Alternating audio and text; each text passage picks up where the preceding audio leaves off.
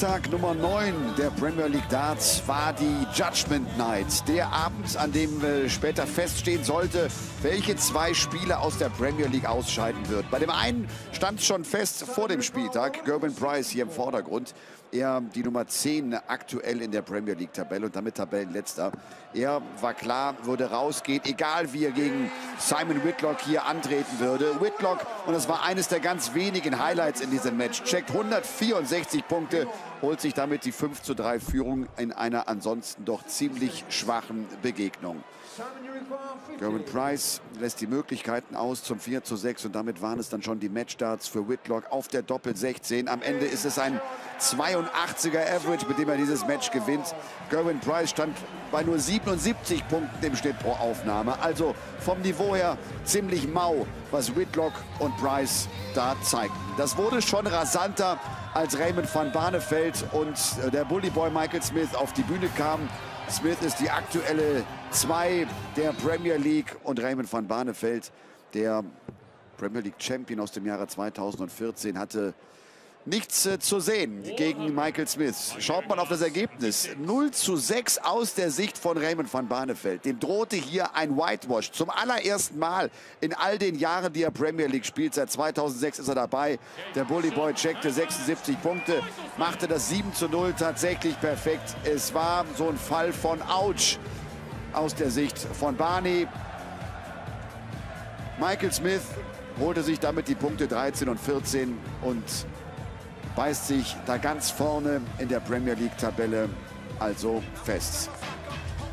Der Doppelweltmeister Gary Anderson trat dann im dritten Match von Liverpool gegen den aktuellen Weltmeister Rob Cross an. Das Interessante an diesem Match vorher war, dass Cross Anderson noch nie bezwingen konnte. Er hatte dann aber die Matchstarts in einem engen Match. 6 zu 5 liegt er hier vorne. Das sind die ersten Möglichkeiten bei 32 Punkten Rest. Die Doppel 16 verpasst er hier noch. Anderson aber nicht im Finish-Bereich. Und damit war klar, dass Cross da noch mehrere Chancen bekommen würde. Anderson hat die Premier League ja schon zweimal gewonnen, 2011 und 2015. Jetzt aber war wohl klar, dass das die Niederlage sein würde für den Schotten. Rob Cross bezwingt also zum allerersten Mal in seiner Karriere im sechsten Versuch Gary Anderson und bleibt weiterhin einer der Kandidaten, die dann Wörtchen mitreden werden in Richtung Playoff-Plätze. Judgment Night, wir hatten es gesagt, zwei Spieler scheiden aus, Mensur Suljovic oder Peter Wright. Einen von den beiden würde es neben Gerben Price erwischen. Die Voraussetzung von Suljovic war, er müsste mindestens ein Unentschieden hinbekommen gegen die Nummer 1 der Welt, gegen Michael van Gerven. Sind hier im zweiten Leg. Van Gerven war enorm stark begonnen mit vielen Trippeltreffern unterwegs im gesamten Match.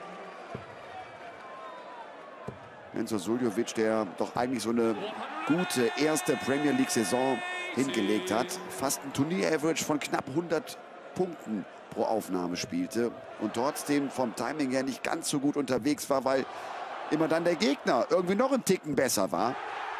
Hier spielt er sechs perfekte Darts, Mensur Soljovic, im zweiten Leg der Partie. Hat 141 Punkte Rest und damit also die Chance für den Österreicher, hier womöglich das perfekte Spiel hinzubekommen. Es wäre der erste neun Data in dieser Premier League-Saison. Aber das schaffte Suljovic nicht verpasste gleich den siebten Dart am äh, Triple vorbei. Und jetzt dann doch noch die Chance zum 1 zu 1. 25 Punkte Rest. So gut sie die Trippelfelder getroffen hatten auf den Doppeln, waren so ein paar Problemchen mit dabei. Doppel 4. Wichtig für Soljovic, um hier von Anfang an auch drin zu bleiben in der Partie gegen Mighty Mike MVG machen den Sprung ins elfte Leck hinein. Van Gerven jetzt mit 6 zu 4 in Front. Der hatte sich dann irgendwann absetzen können, nachdem es zwischenzeitlich noch 3 zu 3 stand. Und dann waren es die Matchstarts für Michael van Gerven, der 10 180er warf. Das ist eine Bestmarke für diese Spielzeit. Die Doppel 8 ist es bei 16 Punkten Rest. Doppel 4. Der Matchstart sitzt. Menzo Suljovic verliert also diese Partie und ist damit raus aus der Premier League. Aber nochmal, das war insgesamt eine gute Saison von ihm.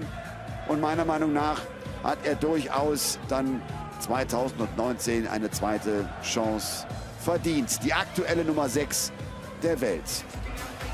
Letztes Match des Abends von Liverpool war die Partie des Snakebite Peter Wright, der aktuell Nummer 2 der Welt, gegen Daryl Gurney, Super Chin, der am Morgen noch Papa geworden war. 8.58 Uhr kam Daryl Junior auf die Welt. Und trotzdem spielte er hier abends das Match, weil auch er wusste, dass das vielleicht noch hätte entscheidend sein können, weil es da ja darum ging, ob Suljovic oder Peter Wright ausscheiden würden. 93 Punkte Rest. Peter Wright hat die Chance, den Ausgleich zu schaffen. Und wer eben schon genau hingeschaut hat, der hat gesehen, dass Wright ein bisschen mit den Tränen kämpfte. Denn während des Matches kam die Meldung durch, dass die Darts-Legende Eric Bristow, der fünfmalige Weltmeister, an einem Herzinfarkt verstorben war. Und das machte natürlich auch die Runde unter den Fans in Liverpool, die immer wieder Eric Bristow Gesänge anstimmten. Und jetzt gleich werden wir sehen, dass auch Peter Wright und Daryl Gurney genau deshalb sich bei den Fans bedanken. Da flossen Tränen später bei Wright, da flossen Tränen bei einigen Fans. Minutenlange Gesänge vom Eric Bristow Wonderland, der im Alter von 60 Jahren viel zu früh verstorben ist.